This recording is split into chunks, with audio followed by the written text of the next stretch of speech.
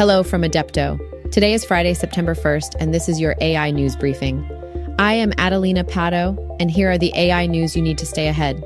Firstly, we'll be addressing how ChatGPT is stepping into the educational field, backed by a new OpenAI guide for teachers.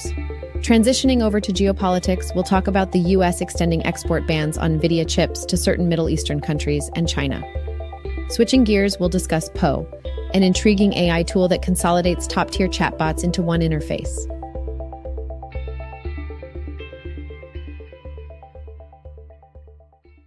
OpenAI aims to formally introduce ChatGPT into schools, realizing that students are already engaging with the technology.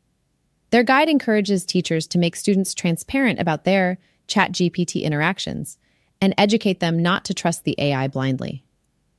ChatGPT can be a powerful tool in education, especially in English writing and even role playing as job interviewers. OpenAI concedes that existing AI detectors are not foolproof, hence the emphasis on education rather than restriction. This initiative looks to cultivate a more AI informed generation.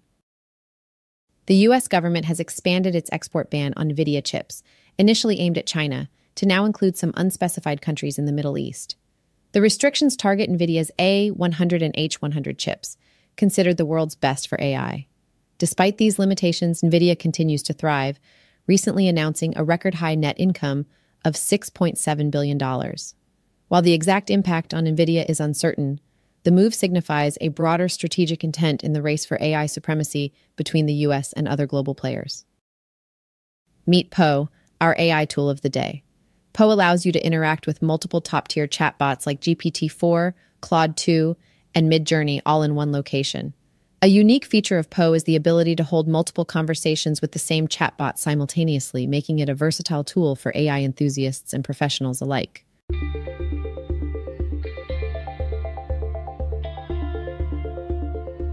You can read more on all of these stories at www.adepto.ai. This has been your AI news briefing. Make sure you check back soon for the latest AI news. The AI news briefing has been produced by Adepto in cooperation with Wondercraft AI. And as we conclude today's briefing, let's remember AI will not replace you, a person using AI will.